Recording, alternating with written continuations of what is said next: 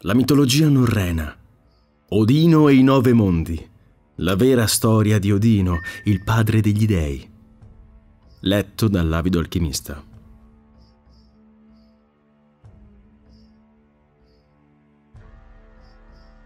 Il fuoco crepitava all'ingresso della caverna. Besla, dalle fattezze prominenti, tutta carne e vita, attendeva immersa nel suo splendore, scrutando i rami che si agitavano nel bosco. Lì apparve il suo sposo, in compagnia di Vili e di Ve, che a malapena gli arrivavano alla cintola. Erano due fanciulli dall'aria sveglia e dall'andatura agile, proprio come il loro fratello Odino. Sulle spalle trasportavano i corpi dei rispettivi cervi. Quando i suoi figli entrarono evitando il suo sguardo e si sedettero accanto al fuoco senza pronunciar parola, l'afflizione turbò il volto di Besla. Bor andò verso di lei, le posò una mano sulla spalla e negò con un cenno del capo. Spellarono i cervi all'istante, posero la carne sul fuoco e tesero le pelli sulle rocce per farle essiccare. Mangiarono la carne arrostita e bevvero in silenzio avvolti dai rumori del bosco e dal crepitio del fuoco. Improvvisamente udirono un rumore diverso. Il fogliame si muoveva. Tutti cessarono di mangiare e si scambiarono uno sguardo di speranza. Qualcosa avanzava a passi trascinati. Odino si arrampicò sul muro, balzò all'interno e senza alcuna spiegazione zoppicò faticosamente fino al fuoco per sedersi con la sua famiglia. Il suo corpo era livido e ricoperto di ferite sanguinanti. Il capo tumefatto, il volto scomposto, gli abiti ridotti in brandelli. Vedendo che le mani gli tremavano irrefrenabili, serrò i pugni con forza per evitarlo, scoprendo la carne viva sulle nocche scorticate. Bor prese una zampa del cervo e la posò al suo fianco. Odino afferrò la preda e la divorò in un sol boccone mormorando come se mai avesse assaggiato una carne tanto saporita. Uscito dalla caverna, insieme a Vili e Ve, Bor sorvegliava l'orizzonte, inquietato dall'ammasso di grandiose nubi che si scorgevano nell'entroterra. Erano andati a pescare al fiordo. In quelle anguste acque, tra ripidi pendii, solitamente si trovavano pesci di enormi dimensioni scagliavano massi e tronchi in corrispondenza dei passaggi più stretti per ostacolar loro la fuga e poi recarsi a riva per catturarli con gli arpioni. Da quando era tornato dalla sua spedizione tra le gelide montagne, Odino li accompagnava raramente. Era evidente a tutti che non era più lo stesso. Nei suoi occhi Bor avvertiva un nuovo sguardo, più chiaro, ancor più scaltro, il brulicare di nuovi pensieri. Spesso spariva per lunghi periodi senza avvisare nessuno. Quando si inoltrava nei boschi accadeva sempre qualcosa di inatteso e allarmante. Crolli improvvisi scuotevano le chiome degli alberi, smottamenti della terra sollevavano sudici polveroni. Violenti getti d'acqua esplodevano levandosi in aria fino a perforare il cielo. Repentini e impetuosi incendi divampavano finché non erano soffocati dallo straripamento di un fiume. I venti spiravano impazziti, per poi placarsi all'istante così come si erano scatenati. Terribili scosse provenienti dalle viscere della terra diventavano sempre più irruente, facendo trepidare le montagne e le grotte e ogni cosa al loro interno, con un'intensità tale da sembrare che il mondo stesse per frantumarsi in mille pezzi. Ma era proprio in quell'istante che esse cessavano e improvvisamente gli uccelli riprendevano a cantare gli insetti a ronzare e la vita scorreva come se nulla fosse accaduto. Altre volte, invece, il ragazzo trascorreva molto tempo seduto a contemplare il paesaggio, le nubi o i tumulti dell'oceano in assoluto silenzio, imperturbabile, che fosse sotto la pioggia o flagellato dal vento. Poi, all'improvviso, si alzava e cominciava a camminare fino a perdersi in lontananza. Ogni volta percorreva distanze più lunghe, ritardando il suo ritorno. Angosciata, Besla condivideva con Bori il timore che un giorno potesse andare talmente lontano da non tornare mai più. E tuttavia tornava sempre. A volte cadaverico, altre volte ustionato, spesso livido, dolorante, ricoperto di ferite. ma sempre di ritorno a casa. Dopo ogni viaggio, la vivacità del suo sguardo rivelava un risultato della prova che si era imposto. L'aveva superata. Suo padre era compiaciuto e al tempo stesso preoccupato.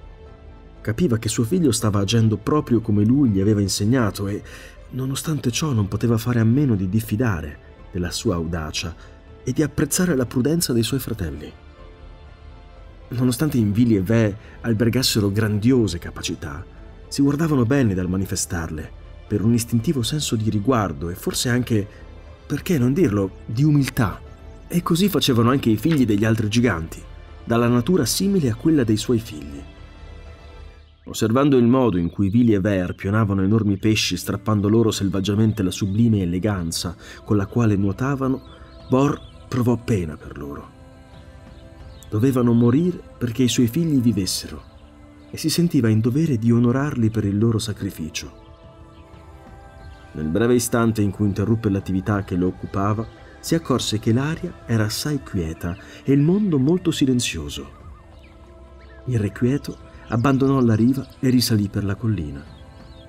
Dal punto più elevato poté notare che ciò che aveva avvistato in lontananza e che pensava fossero nuvole di tormenta, in realtà era una cortina di polvere oscura che si sollevava, estendendosi lungo l'intera linea dell'orizzonte. Aumentava vertiginosamente e davanti a essa, là dove si levava, una colossale figura avanzava rapidamente. A stento riusciva a credere ai propri occhi quando un'esplosione in lontananza lo fece sobbalzare. A nord, dove le cordigliere di ghiaccio si ergevano maestose, si innalzò improvvisamente una fumata bianca, talmente immensa da coprire un'intera montagna. Con suo grande stupore, i monti si staccarono da terra e uno di questi si alzò come se fosse rimasto disteso tra gli altri, sonnecchiante, e le sue vette non fossero altro che una spina dorsale. Alzandosi in piedi, il suo corpo attraversò le nubi e raschiò il cielo con la parte superiore dove risplendevano due bagliori cerulei. Era Ymir, risvegliatosi dal letargo.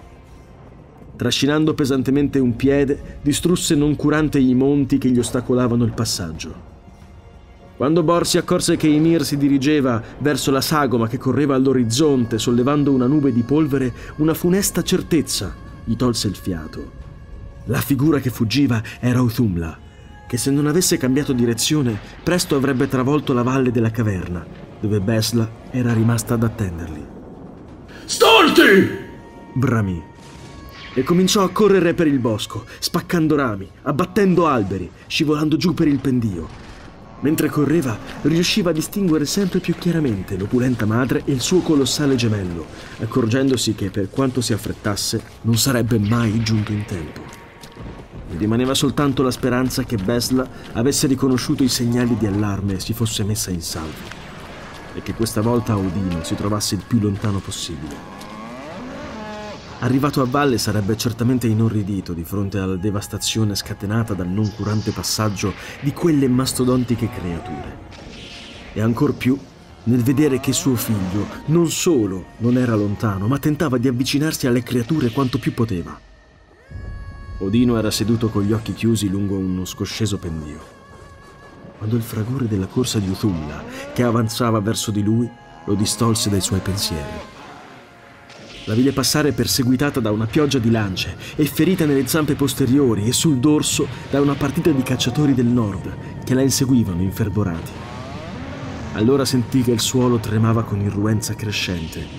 Intuitivamente guardò verso nord e scorgendo ciò che proveniva da quella direzione, gli si gelò il sangue. Ymir avanzava con lunghe falcate, facendosi largo tra le nubi e lacerando il cielo con la testa. Ogni suo passo radeva al suolo la superficie della terra con un'esplosione di sabbia, lasciando l'impronta di un profondo cratere. Devastava boschi e pianure, abbatteva promontori, distruggeva il corso dei fiumi. E fu così che con un balzo finale si lanciò in direzione di Uthumna. I cacciatori videro troppo tardi che quello che sembrava essere un intero continente, un'intera parte del mondo, si lanciava ora su di loro. Quando il colosso cadde al suolo, la terra sprofondò provocando un terremoto che presto si propagò in ogni direzione, scuotendo la superficie come fosse una tela.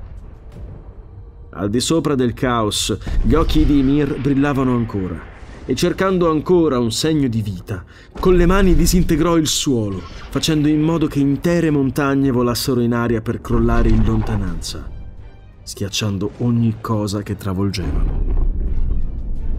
La sua ira si placò soltanto quando si vide circondato da un deserto di terra smossa. Il mondo si era disintegrato al suo passaggio. Odino cercò un riparo e si mise in salvo finché la distruzione non fu diminuita di intensità. Rannicchiato dietro una roccia, rimase immobile a contemplare Ymir. Uthumla era lontano ormai il suo gemello sbuffava da quelle che sembravano le sue narici. Quando vide che sua sorella era al sicuro, Ymir voltò le spalle alle rovine che aveva causato e intraprese il cammino di ritorno al gelo. Odino, che rispetto a lui era un insetto, gli corse dietro. Il mondo sembrava nuovo, nulla ricordava ciò che era stato. Il cuore del giovane batteva all'impazzata per via del terrore che gli aveva destato il cataclisma e del dolore per ciò che era andato perduto. Ma allo stesso tempo era meravigliato dal dispiegamento di potere al quale aveva assistito. A chi doveva essere attribuita la responsabilità del disastro? A quegli insensibili colossi che disponevano della creazione a loro piacimento o agli stupidi fratelli di suo padre? Quei bruti, incapaci di pensiero alcuno, meri cumuli di carne. Si preoccupavano soltanto di mangiare e dormire e non esitavano minimamente a mettere a repentaglio qualsiasi cosa fosse necessaria. Animali, distruttori, bestie divoratrici. Un mondo in cui vivevano quegli esseri era un luogo selvaggio, il dominio del più brutale, se tali forze avessero agito liberamente, la pace in vita non sarebbe stata possibile, poiché sarebbe stato impossibile frenare l'istinto di prevalere sul più debole. Sarebbe stato uno squilibrio costante, il caos perpetuo. Spinto imprudentemente dalla sua curiosità, Odino saltò tra le macerie, da una roccia all'altra, fino al luogo più elevato che poté trovare dove si piantò saldamente su due piedi per osservare Ymir al suo passaggio. Improvvisamente il gemello si fermò alla sua altezza e come se avesse avvertito la presenza di quel piccolo essere che lo infastidiva, parve voltarsi verso di lui. Odino restò stupefatto, poiché il volto dell'impassibile colosso non era quello di una bestia, bensì quello di un essere dotato di intelligenza. Tanto peggio, si disse perché la volontà di una bestia può essere piegata, mentre una mente pensante, capace di una simile strage, avrebbe avuto per sempre il mondo alla sua mercé. Voltandosi nuovamente, Ymir riprese il suo cammino. Capitolo 3 L'astuzia di Odino Il corno ululava talmente malinconico che nell'udirlo nessuno poté fare a meno di commuoversi, e tutti distolsero lo sguardo dalle rovine delle loro dimore per cercare in lontananza colui che lo suonava.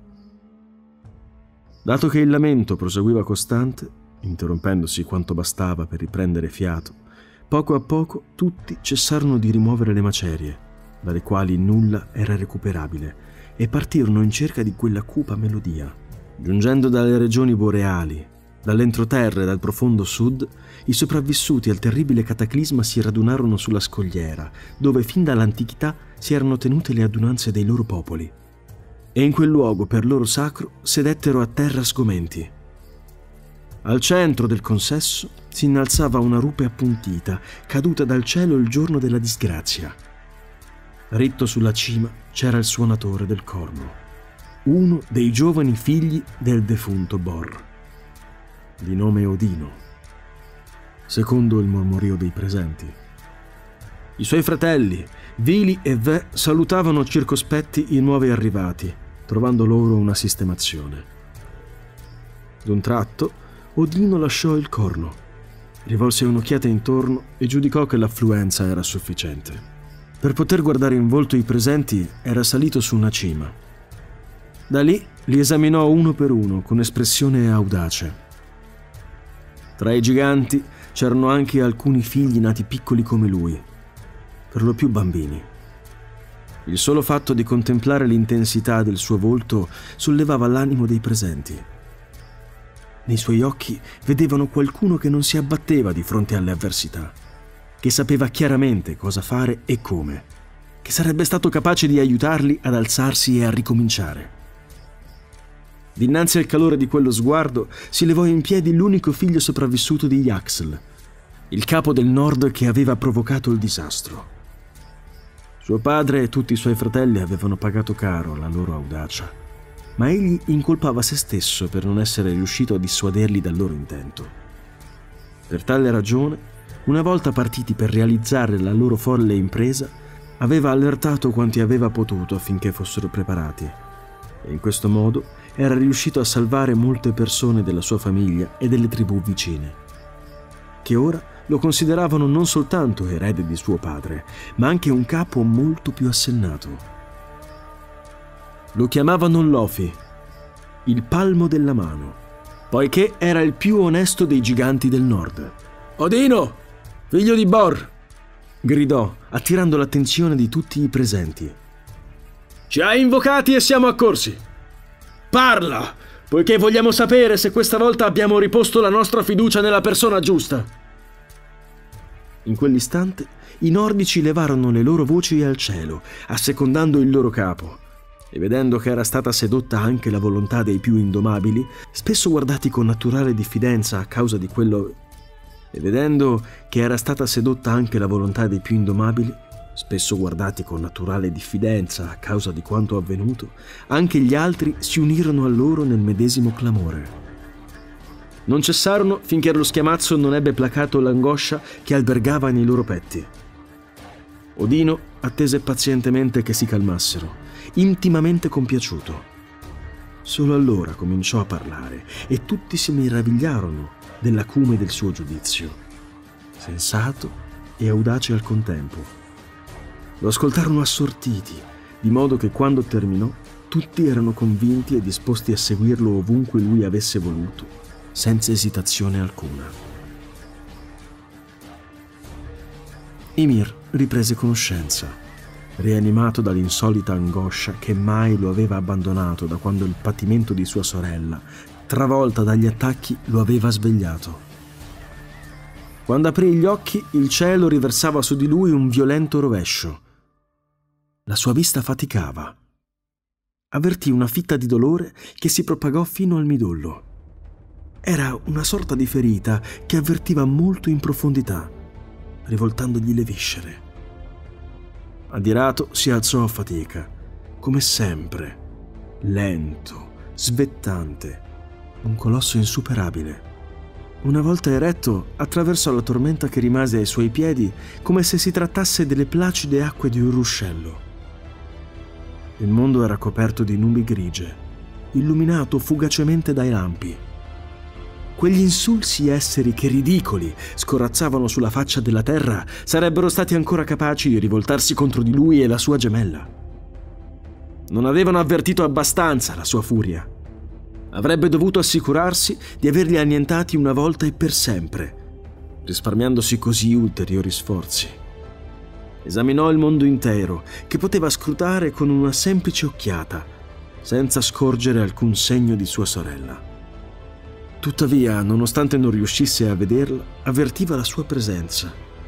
Ai confini australi, dove il fuoco regnava sovrano e il calore era talmente intenso da infastidire persino lui, i vulcani sputavano lava e cenerine colonne di fumo, come fossero in preda all'ira a causa di un intollerabile affronto. Ymir sentiva che Uthumla era lì, da qualche parte, dalle pendici delle cordigliere boreali, il colosso riprese il suo cammino attraverso la burrasca, che al suo passaggio si trasformava in vortici. Per lui la terra non era molto grande. In poche falcate aveva raggiunto le regioni centrali, dove il clima mite favoriva la vita. Quanto più si allontanava dal freddo, maggiore era il suo malessere.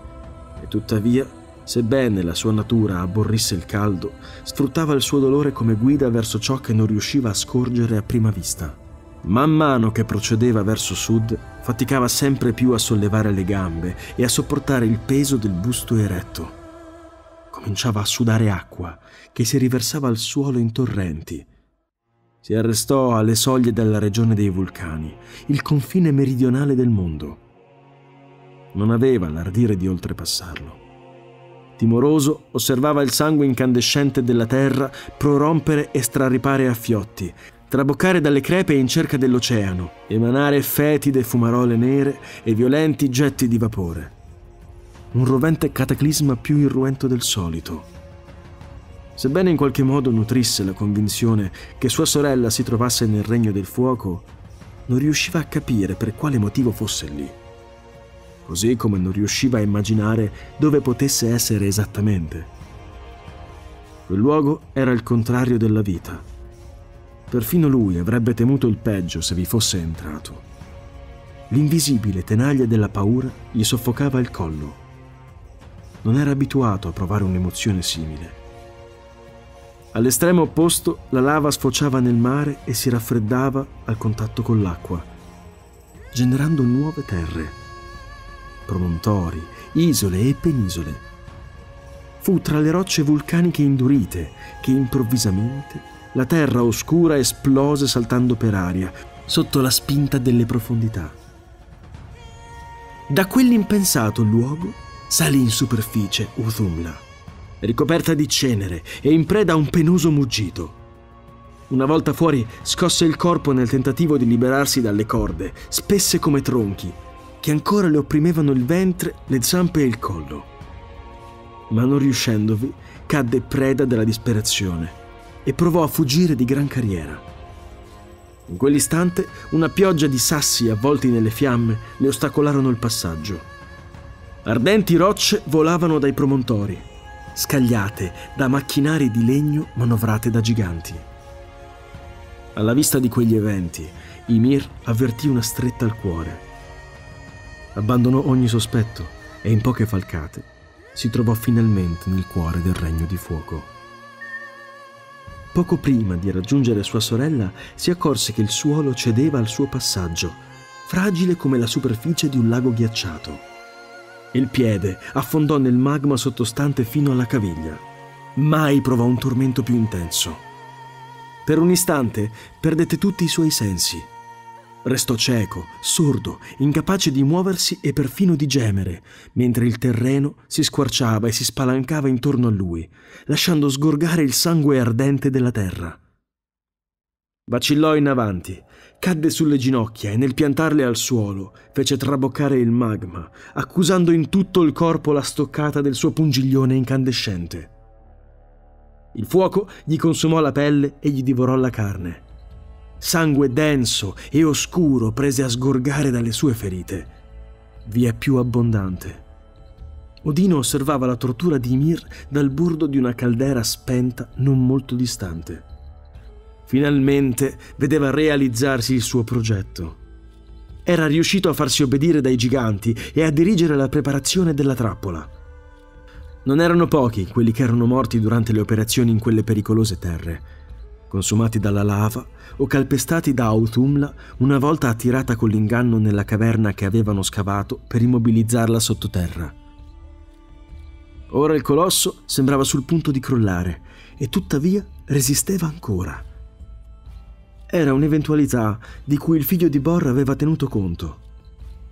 Non aveva affatto pensato che riscattare la creazione dalla sua tirannia sarebbe risultata un'impresa facile. Vide che il volto del gemello si contorceva nel tentativo di uno sforzo supremo per allungare tutto il corpo e poi le mani, in cerca di un appiglio fuori dal fuoco liquido. Malgrado la pelle lacerata e le ossa delle gambe spaccate, prese a strisciare per uscire dal magma. Non c'era più altro tempo. L'ora dei figli di Bor era giunta. In ginocchio, Odino posò a terra i palmi delle mani. Abbassò il capo, chiuse gli occhi e attraverso il contatto fisico discese per sprofondare nella terra. Si immerse nella rugosità della sabbia e della pietra, nello splendore dei minerali, ed essi lo accolsero di buon grado. Il suo essere si fuse in un'unica materia col bollente fermento del magma, in un unico palpitare. Allora la furia scosse il capo di Odino, serrò i pugni e piantò le dita nel suolo perforandolo.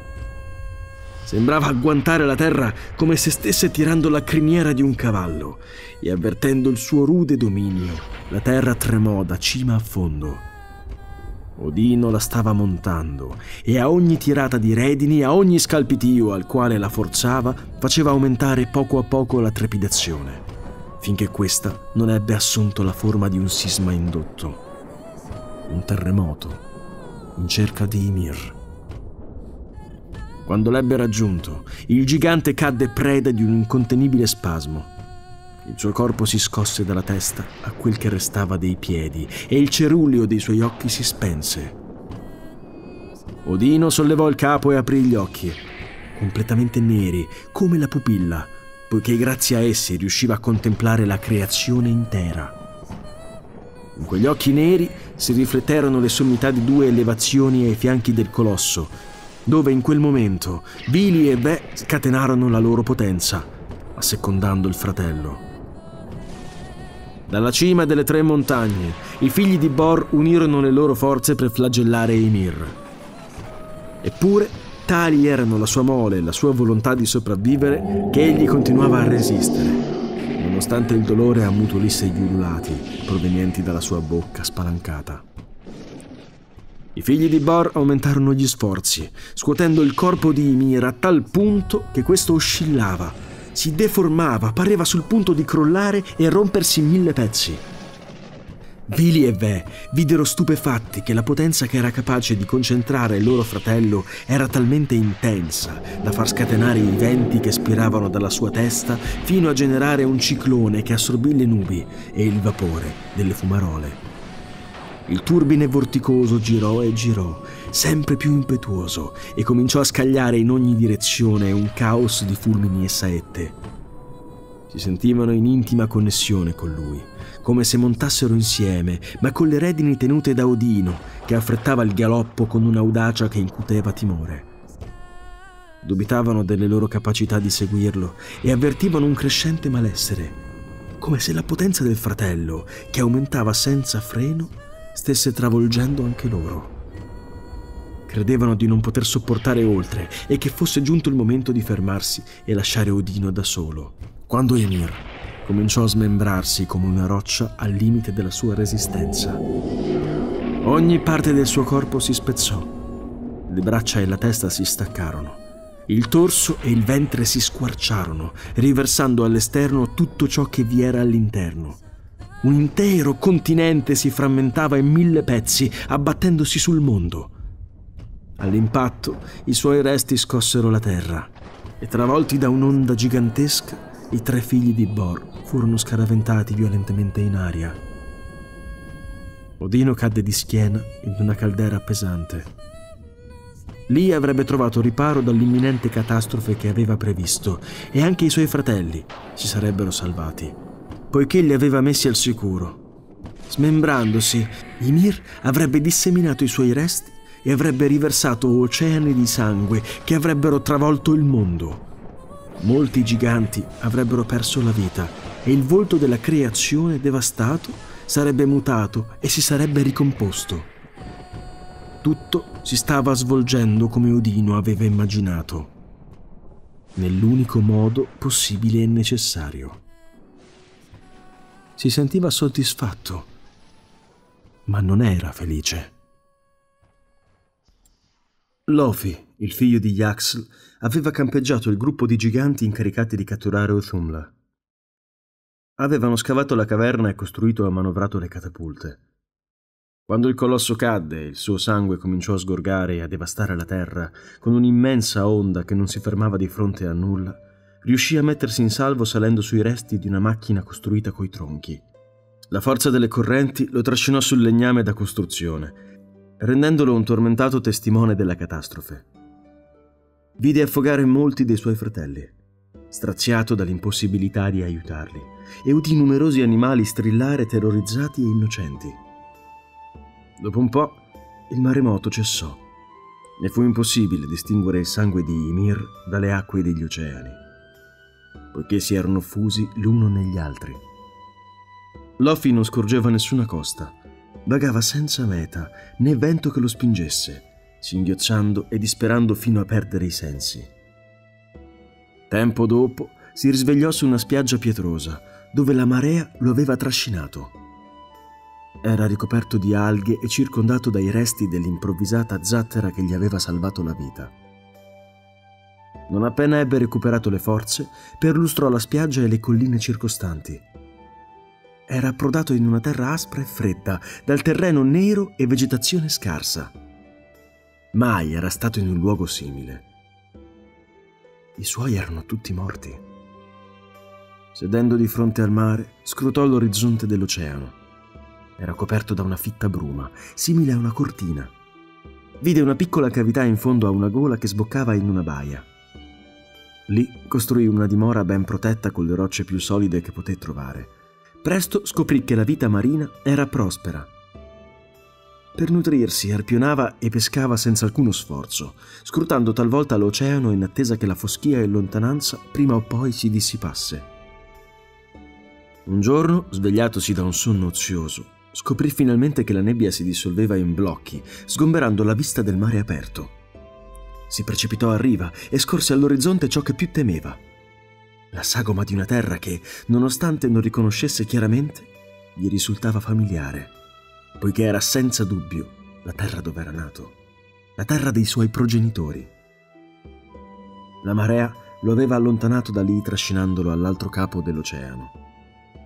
Non poteva tollerare la solitudine e ancor meno l'idea di poter essere l'ultimo della sua stirpe. Spinto dall'angoscia, andò alla ricerca di altri sopravvissuti che fossero approdati su quelle coste lontane trascorse intere giornate a perlustrare il litorale, allontanandosi sempre di più dalla sua dimora. In questo modo riuscì a farsi un'idea precisa dell'orografia e della natura di quella regione. Una striscia costiera di terre basse che nell'entroterra presto diventava florida, elevandosi in una catena montuosa parallela alla riva. In ogni caso, lì non trovò nessuno. Al termine di ogni giornata il suo animo oscillava a volte perdeva ogni speranza e altre volte prometteva a se stesso che non sarebbe stata quella la tomba della sua stirpe. Alla fine continuava a cercare, forse anche solo per convincersi che in effetti era solo. Ebbe una stretta al cuore il giorno in cui scorse in lontananza una flebile colonna di fumo che si innalzava nel bel mezzo di un boschetto. Ansioso, corse in quella direzione, ma una volta giunto nei paraggi rallentò il passo. Si gettò a terra e avanzò strisciando, poiché non voleva spaventare chi si trovava lì. Acquattato tra i cespugli, vide una capanna precaria. Sulla porta ardeva un fuoco. Su un troncone che faceva le veci di una seggiola giaceva una scodella in legno ricolma di cibi cucinati con delicatezza. Aggrottò la fronte. Improvvisamente le fronde crepitarono di fianco a lui, molto vicino. Erano passi svelti diretti verso di lui. Cercò di rialzarsi più rapidamente possibile, ma non fu sufficiente. Ricevette un colpo diretto sul cranio, una scossa implacabile che lo stese nuovamente a terra. Le orecchie gli fischiavano, perciò attese a terra la pioggia dei colpi, ma dal momento che l'attacco non avveniva, sollevò lo sguardo. Con un terribile dolore alla testa vide una femmina della sua specie, una gigantessa che gli si avvicinava per guardarlo meglio. Chi sei? domandò lui. Sono Var. Sono Var, rispose lei col tronco ancora in mano per prudenza. La gigantessa lo fissò dalla testa ai piedi con espressione fiera, senza capire per quale motivo, dopo un colpo a tradimento e con la bocca piena di sangue, quel disgraziato le sorrideva ancora. Lofi e Var, che significa primavera, vissero insieme traendo nutrimento dal mare e da quel poco che offriva la terra. Si abbandonarono l'uno nelle braccia dell'altra, in cerca di conforto, ma non per questo abbandonarono la speranza che in quel territorio vi fossero altri naufraghi. Una volta soddisfatto il loro bisogno di calore e serenità, ripresero a perlustrarlo. Recandosi nell'entroterra, esaminarono con maggiore attenzione l'altissimo promontorio costiero e videro che i suoi confini laterali si perdevano in lontananza come una muraglia. Le sue vette erano innevate, ma sulle falde si scorgevano boschi assai rigogliosi che lasciavano immaginare una prospera terra che si estendeva verso il lato opposto, lontano dal mare. Le loro lunghe esplorazioni ebbero successo. Trovarono un padre e una figlia, dei fratelli. Altri erano soli, alcuni abbandonati a loro stessi ormai quasi impazziti, altri asociali e perfino pericolosi. Grazie al loro aiuto esplorarono grandi estensioni di terra di quella sterminata regione, di modo che, col passare del tempo, formarono una piccola comunità di giganti provenienti dai molti insediamenti esistiti prima del disastro e che ora facevano parte di un'unica famiglia, la famiglia dei superstiti. Stabilirono un piccolo villaggio di casupole sparse vicino alla costa. I montanari, che vivevano lontani dal mare perché irritati dal suo mormorio, organizzavano delle battute di caccia, ma tornavano soltanto con piccoli roditori. I cacciatori si impegnavano in lunghe camminate con scarsi risultati. I più intrepidi lottarono contro le paure che ancora turbavano i loro sogni e costruendo solide barche ebbero perfino l'ardire di navigare in mare aperto per ottenere una pesca più abbondante. Vivevano al riparo dai pericoli, condividendo i frutti del loro sforzo ma la terra era molto povera e la vita era molto frugale. Sotto l'autorità di Lofi, eletto capo fin dal primo momento, la loro preoccupazione era trovare sostentamento. Fu proprio su questo versante che emersero i problemi. Non c'era stato bisogno di costruire palizzate, né tracciare confini finché non sorsero discussioni sulla proprietà dei terreni e sui furti delle provviste sistemate nei depositi collettivi. Presto Lofi si vide costretto a mediare tra i contendenti e a imporre disposizioni che non accontentavano nessuno. Il malcontento crebbe e scoppiarono i tafferugli. L'atmosfera si fece difficile, angosciosa. Eppure, nella malinconia generale, nei sospiri, nei pianti privati, si manifestava una cosa che tutti condividevano e che ognuno taceva. La nostalgia per la terra dei loro antenati la cui sagoma, intravista sulla linea dell'orizzonte oceanico, li tormentava. Un giorno, Lofi stava lavorando il legno sulla porta della sua casa quando vide un gruppo di giovani andargli incontro. Erano molti tra i più valorosi e accorrevano a lui con animo irrequieto. Non vogliamo più rimanere su questi lidi deserti, disse il più maturo di loro. Vogliamo tornare indietro per vedere cosa resta delle nostre terre se anche fossero poche, ripopolarle e restituir loro la vita. Come farete? Ci avete pensato? Costruiremo una lunga nave dal ventre concavo che ci permetta di attraversare l'oceano. Lofi assentì col capo senza poter né voler nascondere che comprendeva la loro decisione, sebbene non fosse pronto ad accompagnarli. Solo una cosa vi chiedo. Se le nostre antiche terre sono in rovina, ma la vita ci prospera ancora, tornate a cercarci. Non abbandonateci qui, disse loro. Così faremo, promisero. Era un'impresa ardua, poiché l'oceano era ampio e le sue acque erano oscure e terribili, come ben sapevano tutti coloro che le avevano attraversate. E tuttavia l'impresa non sembrava impossibile. Nelle giornate più limpide si poteva scorgere la costa opposta, sfumata per la distanza, ma tentatrice, poiché all'apparenza raggiungibile. Con la sua approvazione, i giovani si misero all'opera per terminare quanto prima la costruzione di una nave. Quando i venti ebbero sgombrato il cielo, l'intero villaggio si riunì sull'arenile dove era stata varata la nave. Ogni famiglia cedette ai viaggiatori una parte delle proprie provviste e della propria acqua. Gli uni abbracciarono gli altri, singhiozzarono a lungo e finalmente, spinti dai più impazienti, i marinai sollevarono la nave con le loro possenti braccia e la gettarono in acqua. Si imbarcarono e solcarono la superficie del mare coi remi, sollevando la spuma. La gente, rimasta a terra, li osservò allontanarsi dalla riva e li vide rimpicciolire nell'immenso oceano aperto. Con l'animo abbattuto, ma non privo di speranza, abbandonarono la sabbia con passo sommesso, mentre la nave svaniva all'orizzonte. Le correnti erano favorevoli e i cieli propizi. O almeno così fu alla partenza, poiché poco dopo, mentre Lofi risaliva il pendio che portava alla sua casa, vide che le foglie degli alberi protestavano e che il vento mutava costantemente direzione, come fosse irritato. Non se ne preoccupò troppo ma neppure cessò di pensare che non fosse un buon segno. Più tardi, quando nel villaggio ognuno era assorto nelle proprie faccende, un tuono brutale fece trasalire tutti dallo spavento, là dove si trovavano. Nessuno levò gli occhi dal cielo per osservare le furibonde nubi che incombevano sul mare. La tormenta si scatenò all'istante, scagliando pietre dal cielo grosse tanto quanto un pugno, talmente pesanti da perforare il terreno. Chi dimorava nelle grotte accolse i vicini che abitavano nelle case di legno, poiché all'aggressione della grandine i tetti cedevano facilmente. Stretti gli uni agli altri attorno al fuoco, tremavano di fronte alla furia che il cielo scatenava su di loro.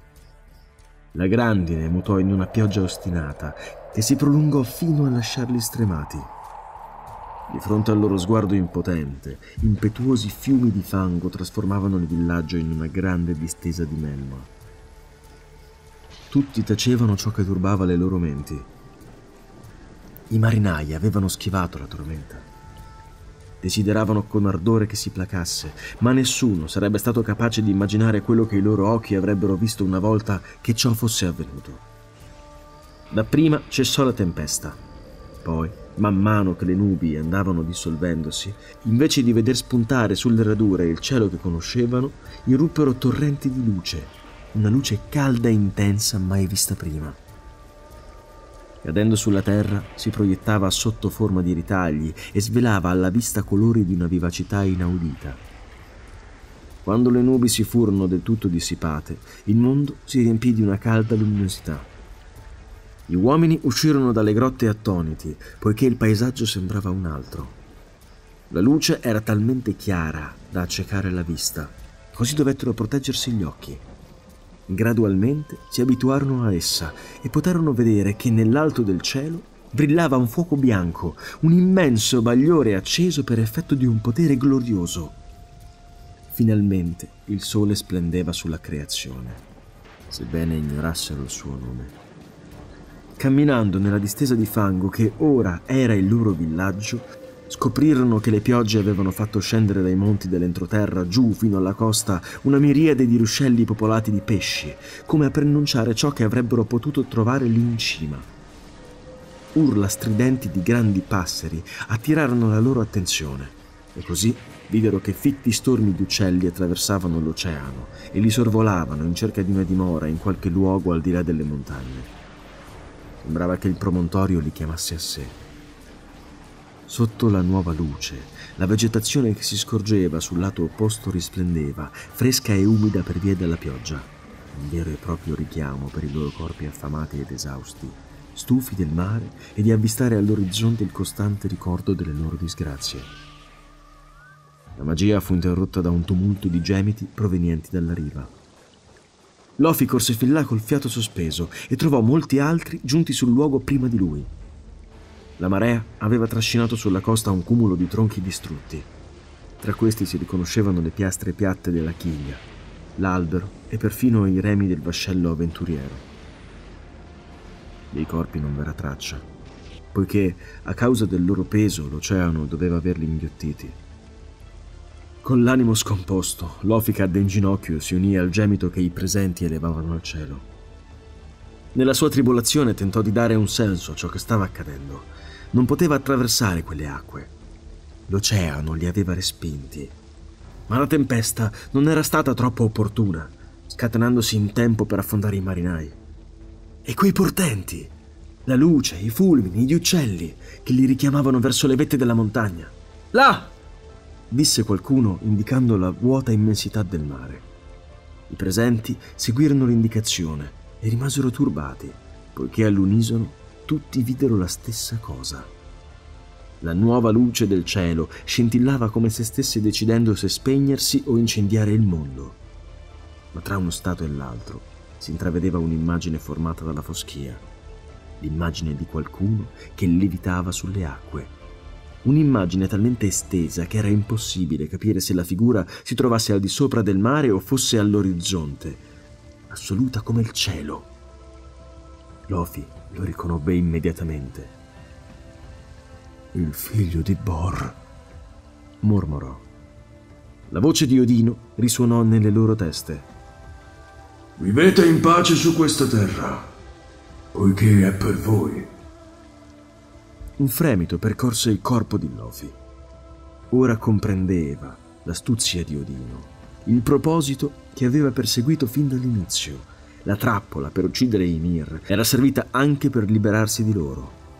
Per questo motivo li aveva mandati a stabilirsi vicino al mare, mentre lui e i suoi fratelli erano rimasti nell'entroterra. Per questo motivo aveva disposto che tutti i figli di giganti, nati piccoli come lui, si rifugiassero lontano, col pretesto che erano troppo giovani. Aveva previsto la catastrofe che la caduta di Ymir avrebbe causato e aveva tentato di approfittarne. Forse ora non era affatto contento di vedere quanti di loro erano sopravvissuti. Chissà cosa passava per quella mente spregevole. Pianse dalla rabbia pensando a suo padre e ai suoi fratelli, alla terra perduta dei suoi antenati, al destino funesto della sua stirpe. Avevano avuto il mondo nelle loro mani, ma Odino, figlio di Bor, lo aveva sottratto loro e li costringeva a non oltrepassare quei confini. La collera gli pulsò in gola con un impeto tale da non poter essere soffocata. Traditore! bramì. Il suo odio sarebbe stato eterno, poiché si sarebbe assicurato di trasmetterlo da padre a figlio. Un giorno avrebbero attraversato di nuovo quel mare con le loro navi, oppure vi avrebbero trascinato il gelo per poterlo ridurre in ghiaccio e attraversarlo a piedi, oppure lo avrebbero disseccato se necessario. Con ogni mezzo e ad ogni costo. L'intera sua stirpe avrebbe tormentato Odino e i suoi simili fino alla fine dei tempi. Capitolo 4 Il tempo degli uomini La palla di fuoco fiammeggiava levandosi lentamente in cielo e riscaldando la terra coi suoi raggi. La sua luce, frammentata, scintillava sulle acque di un ruscello, contemplandola. Odino si accorse di essere rimasto a lungo assorto e si alzò dalla roccia dove si era seduto a riposare. Roccia ricoperta di un muschio di colore diverso da quello che avevano conosciuto i suoi genitori. Un muschio verde Dopo numerose giornate trascorse a percorrere la nuova terra, era giunta l'ora di ricongiungersi ai suoi fratelli, come era previsto. Proseguì il suo cammino aiutato da un bastone ricavato da un grosso ramo spezzato. Dinanzi ai suoi occhi si estendeva un paesaggio tortuoso. Colline seguite da piccole valli, terreno smosso, rocce delle profondità che si affacciavano in superficie, improvvisi precipizi dava l'impressione che un branco di colossali animali selvaggi fosse passato al galoppo affondando le zampe e rivoltando la terra, portando alla luce tutto ciò che vi risiedeva nel ventre.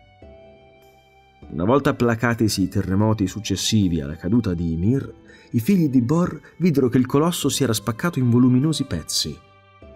La spina dorsale spezzata, il costato aperto e tutte le ossa e numerosi resti furono disseminati dalla forza trascinante del maremoto causato dal suo sangue.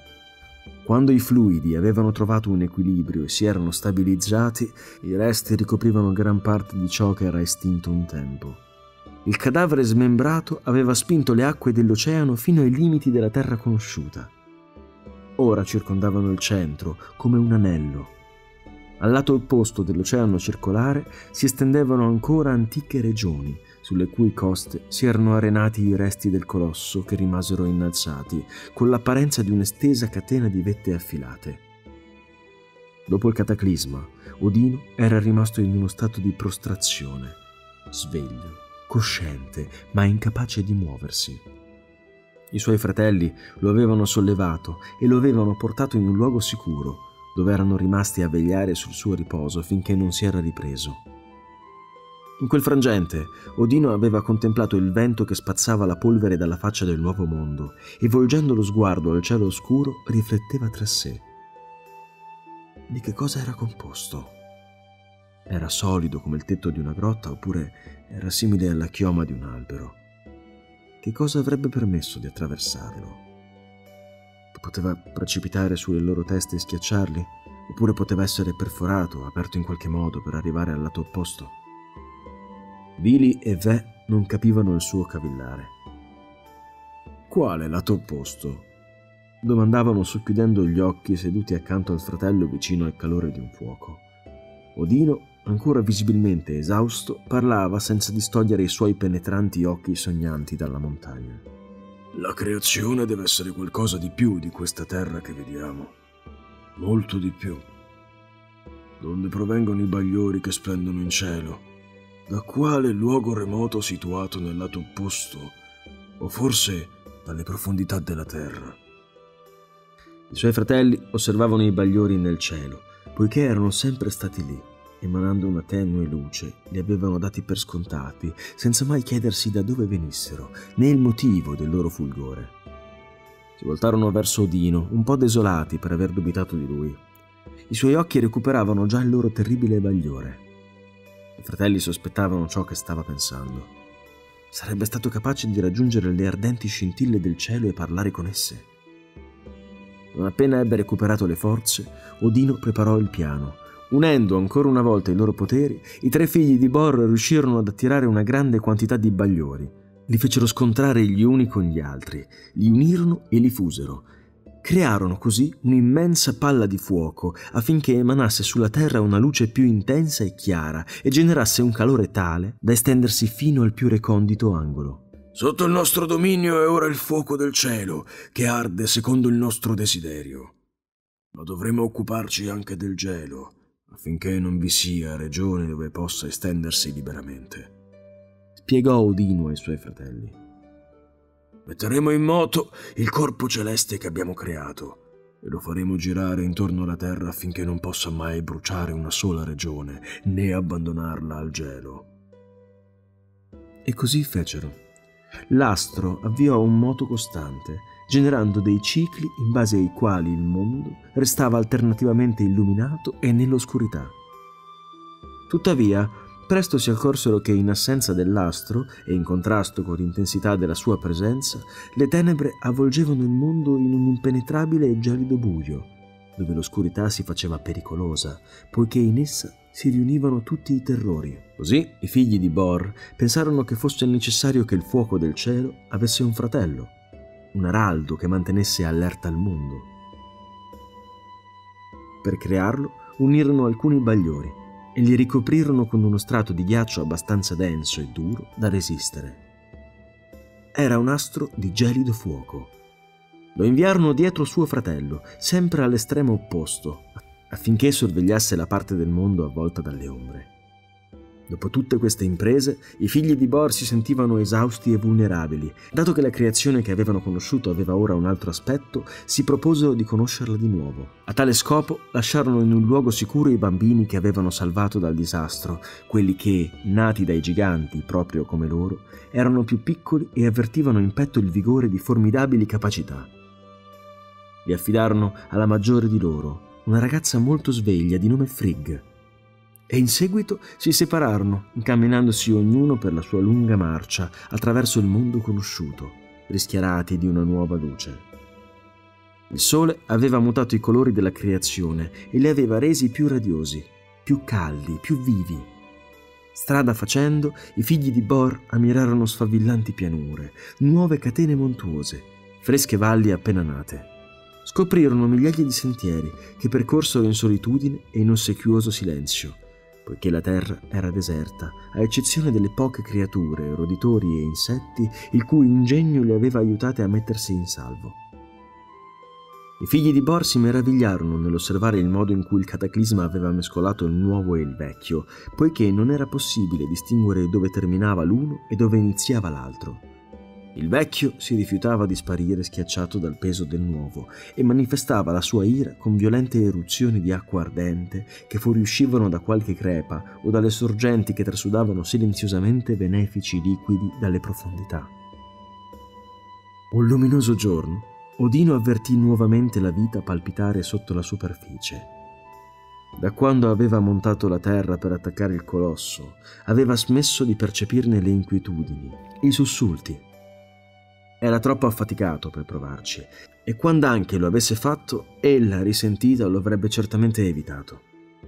Tuttavia quel giorno all'improvviso, senza la necessità di toccare il suolo, gli parve di percepire un pericoloso risveglio al suo interno. Il cataclisma aveva ormai sepolto gli antichi alberi di un tempo. Eppure i semi, incipiente promessa dei nuovi boschi, erano ancora lì. Il maggiore dei figli di Bor giunse pieno di gioia nel luogo dove i fratelli avevano stabilito di trovarsi al termine del loro viaggio.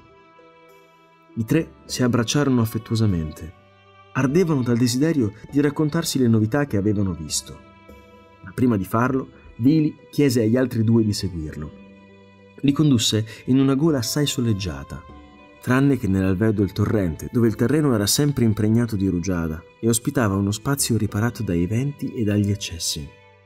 Billy chiese ai suoi fratelli di chinarsi e mostrò loro ciò che spontaneamente affiorava dal terreno. Un piccolo germoglio verde, il giovane stelo di una nuova pianta. Esultanti, i figli di Bor si estasiarono, scoprendo gli innumerevoli mutamenti avvenuti in ogni luogo il muschio aveva ripreso ad affiorare lentamente nell'umidità e le acque scorrevano cercando la discesa. La terra recuperava timidamente i suoi palpiti a un ritmo che seguiva il moto dei corpi celesti. Alla luce del sole brulicava la vita, mentre sotto il velo argentato della luna essa si abbandonava al riposo. La creazione era stata scossa a tal punto da mutare del tutto, ma il suo vigore rimaneva intatto sarebbero stati capaci di farla rinascere.